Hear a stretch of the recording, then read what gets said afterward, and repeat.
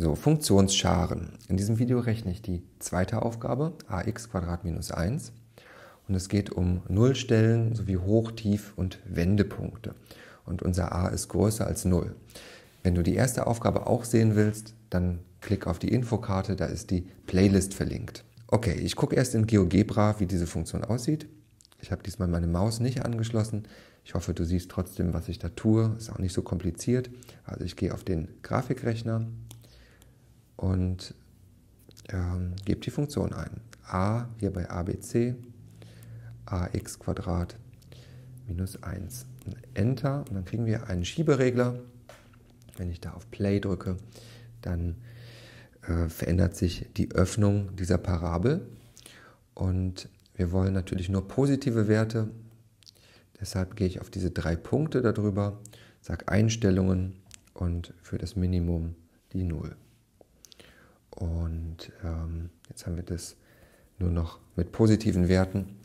Und äh, wir sehen ganz deutlich, es gibt einen Tiefpunkt, der ist nicht in Abhängigkeit von a. Ja, der ändert sich nicht.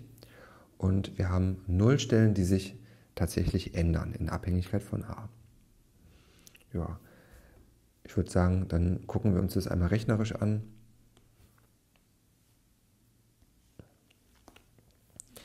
Fangen wir an mit den Nullstellen ax minus 1 gleich 0, auf beiden Seiten plus 1. Ja, dann haben wir ax gleich 1, beide Seiten durch a teilen und dann steht da x gleich 1 durch a. Und jetzt müssen wir noch die Wurzel ziehen und dann kriegt man natürlich immer zwei Ergebnisse, einmal äh, das Negative, einmal das Positive und äh, das ist dann 1 durch Wurzel a äh, beziehungsweise minus 1 durch Wurzel a. Ja, wir können natürlich ähm, können das auch schreiben, minus Wurzel aus 1 durch a. Äh, das ist das gleiche wie 1 durch Wurzel a. Ja, denn Wurzel aus 1 ist immer noch 1. Gut. Okay, dann die Ableitungen. Erste Ableitung 2ax. Ja, wir müssen den Exponenten von x nach vorne ziehen. Die minus 1 fällt weg. Also bleibt als Ableitung 2ax. Zweite Ableitung, äh, dann wird dieses x zu 1, dann haben wir nur noch 2a. So, notwendige Bedingung für Extremstellen, erste Ableitung gleich 0. Also setzen wir die erste Ableitung gleich 0, 2ax gleich 0. Und dann ist x natürlich gleich 0. Ne? Wir können hier sagen, geteilt durch 2a. Und dann ist x gleich 0. Und jetzt noch die hinreichende Bedingung. Hinreichende Bedingung ist immer erste Ableitung gleich 0 und zweite Ableitung ungleich 0. Die zweite Ableitung ist ja nur eine konstante Funktion bei 2a. Das heißt, äh, egal was wir einsetzen, wir können hier ja gar nichts einsetzen, es kommt immer 2a raus. Das heißt, wir haben es mit einem Tiefpunkt zu tun.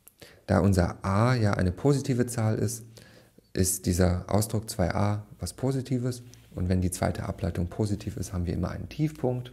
Das heißt, wir haben schon mal nachgewiesen, dass es sich um einen Tiefpunkt handelt. Jetzt müssen wir noch den y-Wert finden, das heißt diesen äh, x-Wert, äh, die 0 in äh, f einsetzen. Ja, ich mache das mal hier.